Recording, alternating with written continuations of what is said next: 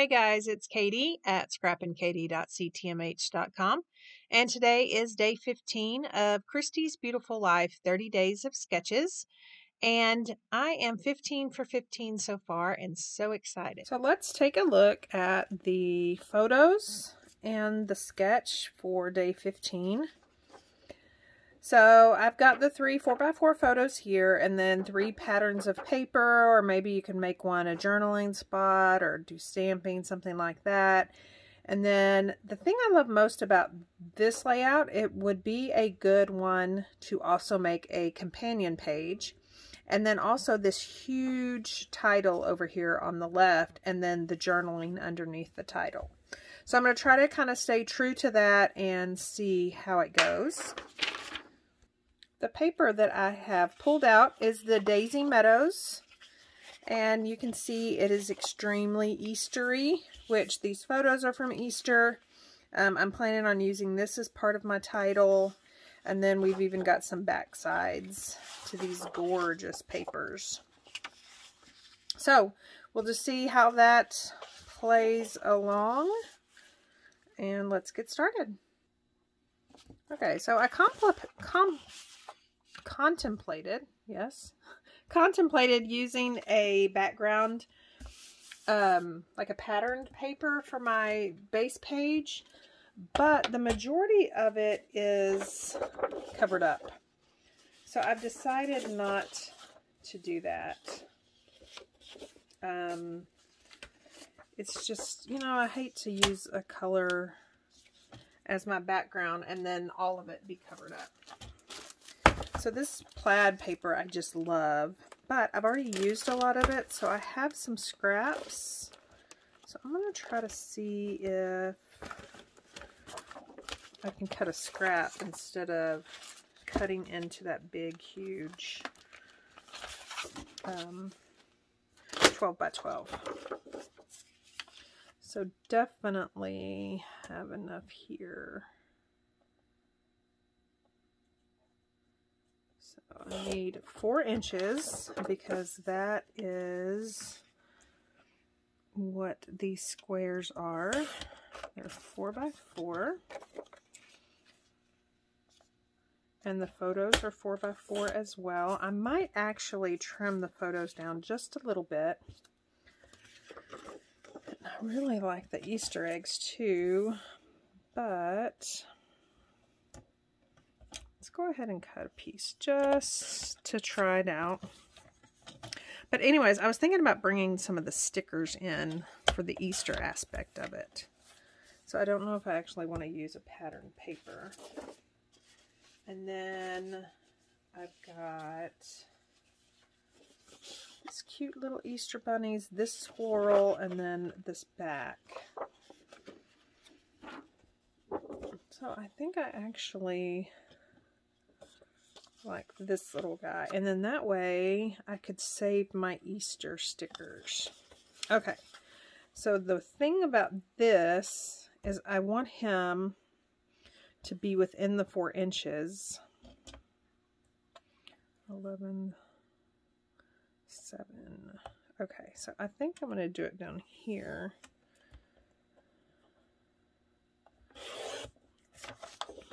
So I'm going to cut him at four inches. And then just kind of like, you know, have you ever heard about the thirds rule? Um, where your subject will be in, in one third or two thirds. I want the little Easter bunny in a third. Same, same thing with, you know, how I use, um, you know, three wooden images or three sequins or stuff like that. Just odd numbers worked work best. I don't really, the reason I love, I love this peacock paper, but it's just kind of dark for these photos. So I think I'm going to keep it light. And I think I'm just going to use those for right now. We'll see how that goes. Okay, so I did trim these photos down, and here's an example of the thirds.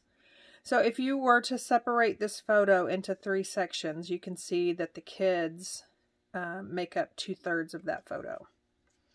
So it doesn't always happen like that, but that's what I was kind of referencing when I was talking about thirds. Okay, so I want my Easter images separated. So I think I'm going to do the bunny rabbit down here, Easter eggs up there, plaid right here. I don't know if y'all can see that, but you know, this was the scratch paper that I did. There's a little nick right there. So I'll just have to make sure that there's an embellishment there. And then I've got the photos. Same thing with the photos. I want the people photos to be separated. So these will be right here. And then we've got the huge title and such. Now, I think I want, I know y'all are tired of seeing me ink distress, but it just does all the world of a difference to me.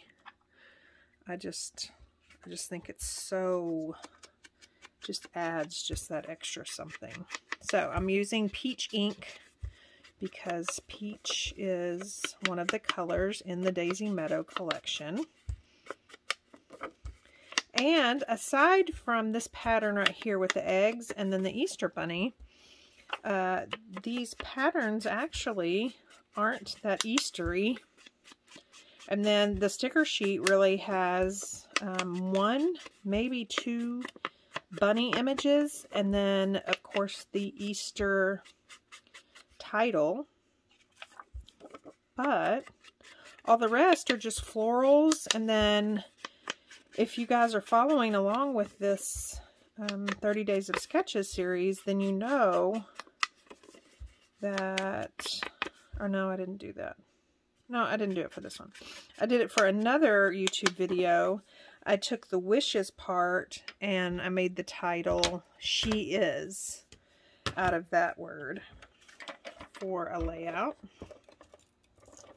So there are some things, if you do not celebrate Easter, um, or if you do not have any Easter photos, you know, let's say your kids are all grown, let's say you don't have grandkids yet, then there are some patterns to this lovely paper that definitely you could use for other things. I mean, this plaid alone is just gorgeous to me.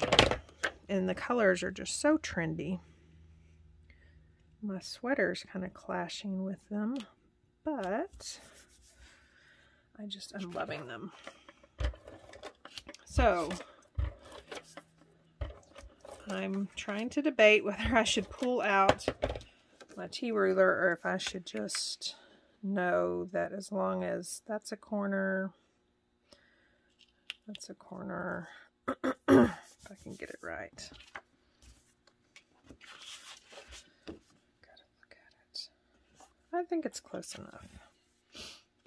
Okay, so we are going to adhere this photo in the middle.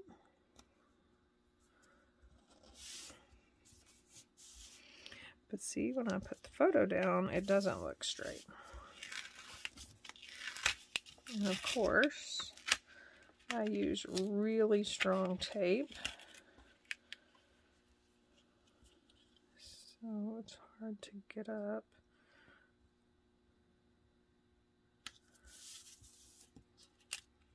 That didn't work either. Nothing is looking correct here, girls. Maybe I had it right the first time. It's really so difficult trying to look past my camera. I feel like if I get too straight like on top of it, then you guys can see my eyebrows, eyelashes, hair, everything. So I try to stay out of frame, but sometimes it's hard for me to see if stuff is straight. So this is the last one. As you can see, this is coming together really quickly. Okay, so for the most part, that's good. There are, you know, um, that This kind of looks crooked, but I think we can deal with it.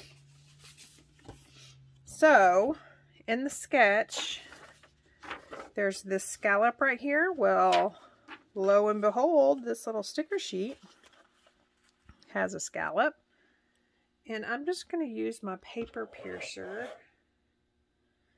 if I can find it, to make sure those little centers of the scallop stay on the sticker sheet. It's going to be a whole lot easier making sure they stay here than trying to take them out after I peel it up. And before I do that, I can already tell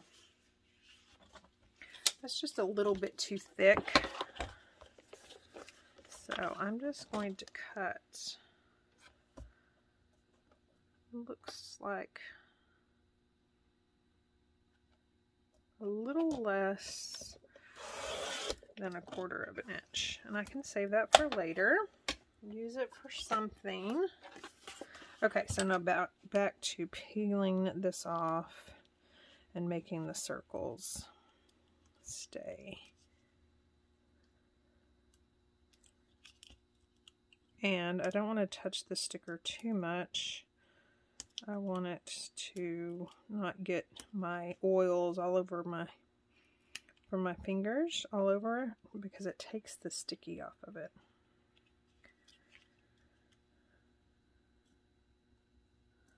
What's happening here? Oh.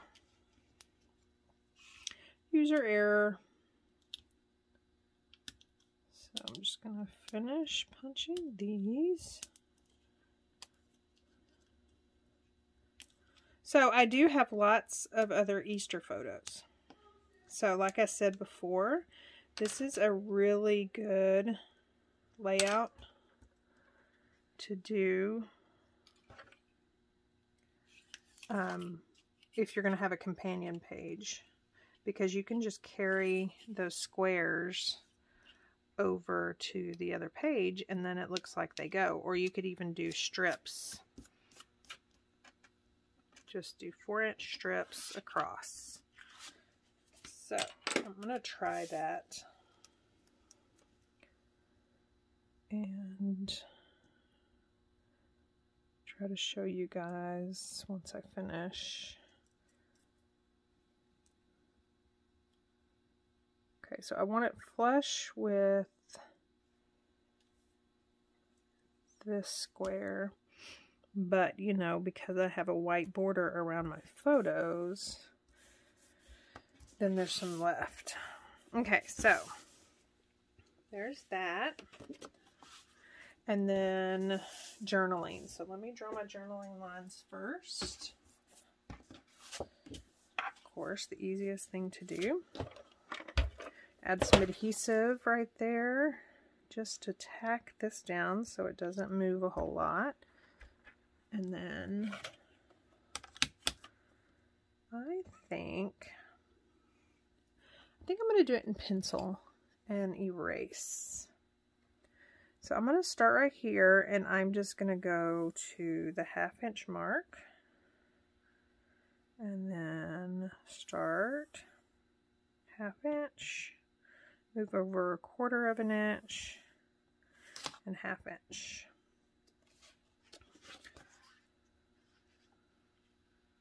So I think that's what I'm going to do. I'm just going to do three journaling lines because I can also journal on the accompanied page. And then I just peel that off and rub that with my rub and remove. If I had any residual on there, I could use the rub and remove on there as well. And then let's take this sticker off. Again, it's easier to grab these little centers to the letters and make sure they stay there than try to get them off later.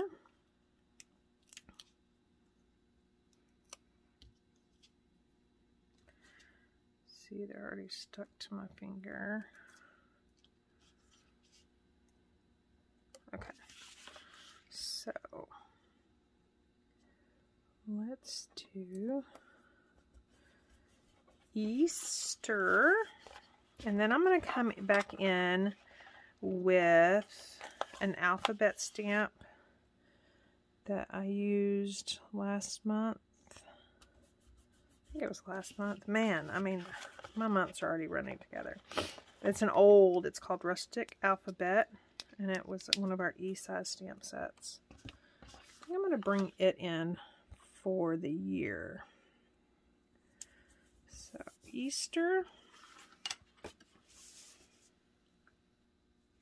Okay, well, I'm sad to say that the rustic alphabet, I forgot it is just an alphabet.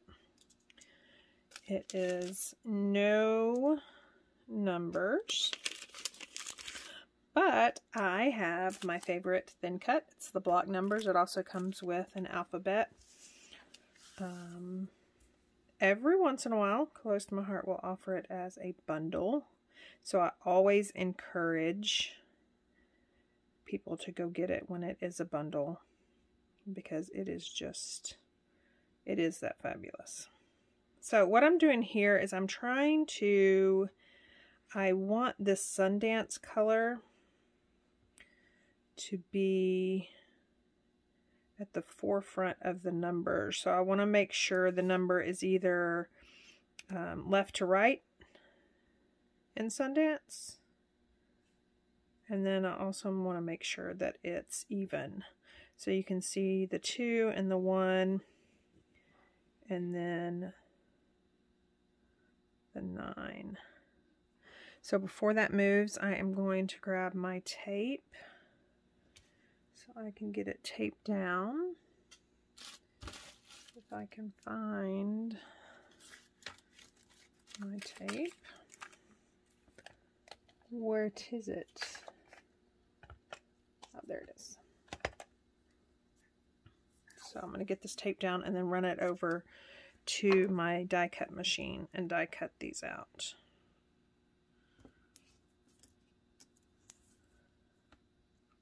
Okay, so that is done. Peel that up.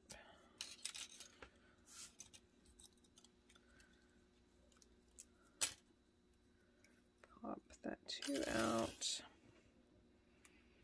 Okay, let's see how this looks.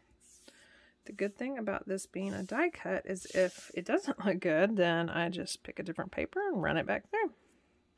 I didn't waste any stickers or anything like that. 2000.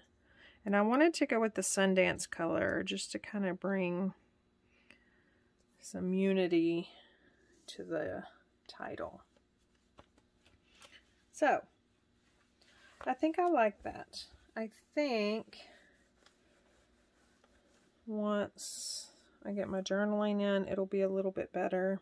I think I might come in and add some stuff right there. Definitely, probably right there. Okay, so let's glue this down. I am going to do liquid adhesive. I'm going to pull this out. And let's put it on the E and the R. Just to make sure that it's straight. And let me scoot it down so my vantage point is still there, but that you guys can still see it.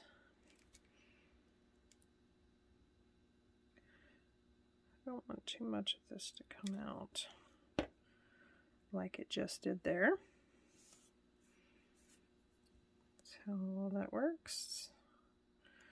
Okay, so Easter. Two. Zero.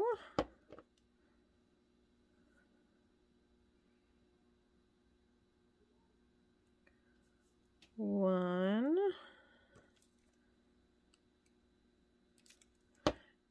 And then a 9.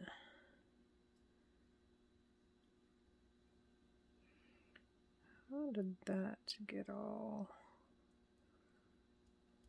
Oh, because I put it in the middle. I was thinking, how did that get all out of whack? Well, because it didn't span over to any white. So just looks like it had a different bottom to it, but it doesn't. Okay, so there's that. And then let's start kind of decorating with the sticker sheet. So I think I'm going to do these little eggs. But maybe not. I need something right there, but um, not as much. So maybe a heart. And then let's do this heart. And then I want something, I love him, so nothing needs to be down here. Something needs to be right here. And then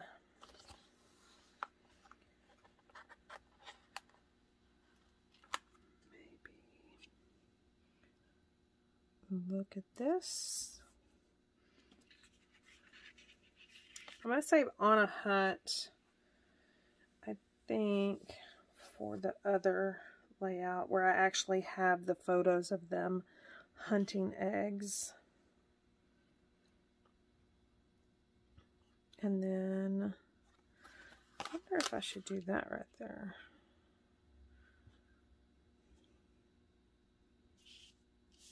Hmm. hmm, hmm, hmm.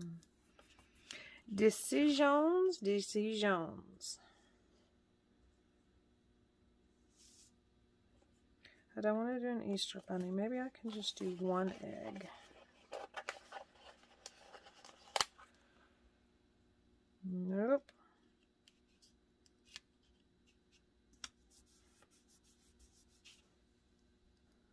Okay, I think I'm going to do a flower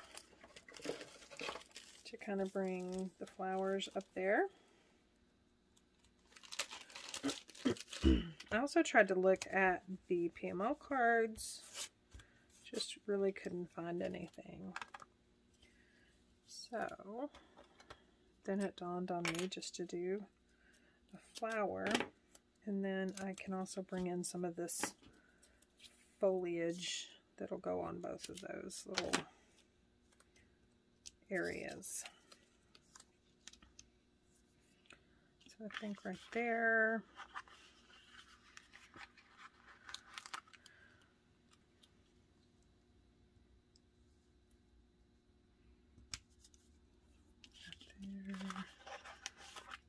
These colors, I hope you can just see how gorgeous they are.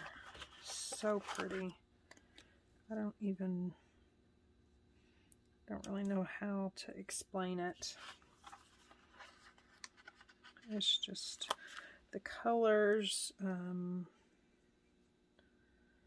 I think on that one I'm actually gonna add a little foam circle to the end of that one just to kind of add some dimension. But the colors are just so pretty. And I think it's a a little combination of the combination of the colors, them being trendy.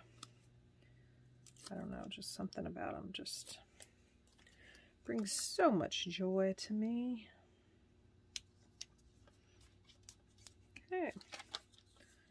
Yeah, I'm really digging that. So, I like that. I got the Easter Bunny down there. I contemplate, you know, I'm really trying to use this. I contemplated putting these down here, but they just kind of stick out. I'm just not, I'm not feeling it at all.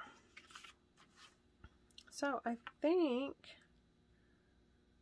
I think that's going to be it. Now I do have some enamel dots that go with this collection. They're so pretty. Aren't those gorgeous? So I think I'm going to add some of those up and around here.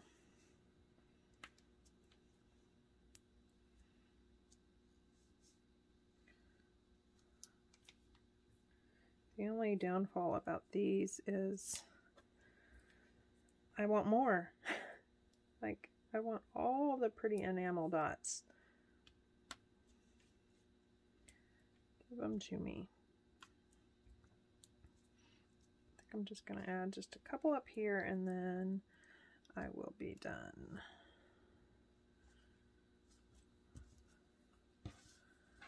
Yeah, I don't think I need them anywhere else.